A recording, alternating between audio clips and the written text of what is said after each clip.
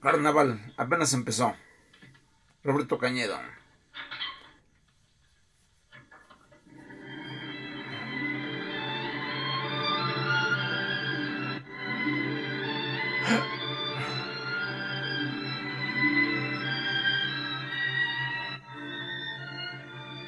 Mi mamá.